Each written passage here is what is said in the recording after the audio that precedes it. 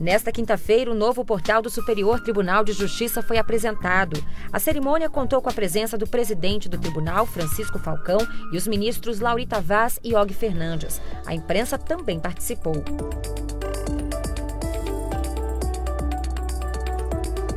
A nova página eletrônica do STJ vai contar com várias ferramentas que prometem melhorar o acesso aos usuários. Mais moderno e funcional, uma das novidades do portal é acessibilidade para pessoas com necessidades especiais. Ferramentas como atalhos padronizados de navegação foram criados em todo o site para facilitar o acesso. No site do STJ, o usuário terá acesso principalmente às decisões do tribunal, informações sobre os ministros, jurisprudências e, claro, as notícias. Para facilitar as pesquisas, os julgamentos serão organizados por temas. A página também vai apresentar a prestação de contas do tribunal. O presidente ministro Francisco Falcão disse que a transparência é fundamental.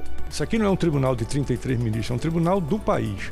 Então, tudo que se faz aqui, tudo que se gasta, tem que ir para o portal da transparência todas as despesas do tribunal, todas as compras, tudo que é feito aqui está no portal e todos podem consultar e questionar a boa ou má utilização do recurso público.